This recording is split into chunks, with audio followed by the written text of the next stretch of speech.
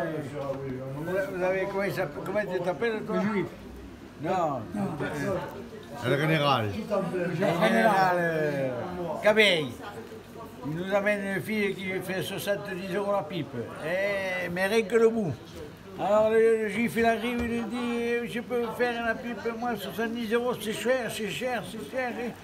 Mais non, il, commence à peine, et moi je le pousse, pouf le juif. Et il me dit je suis ruiné, je suis ruiné. Et celui qui laisse dormir. Celui qui laisse dormir. Le- Celui qui laisse, Eh qui se laisse j'ai- dormir. Et ma femme me dit, je lui dis, t'es le seul homme que tu, tu as avec moi, et t'es le seul homme. Mais oui chérie, t'es le seul qui me laisse dormir. Allez, merci ma poule.